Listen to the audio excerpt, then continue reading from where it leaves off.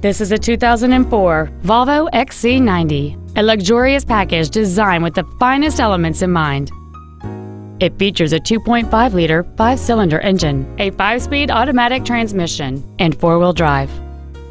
Its top features include a power sunroof, heated seats, alloy wheels, and traction control and stability control systems.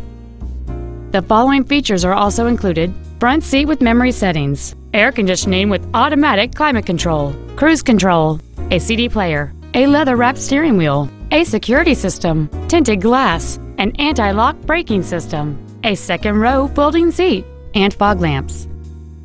Not to mention that this Volvo qualifies for the Carfax buyback guarantee. This vehicle is sure to sell fast. Call and arrange your test drive today.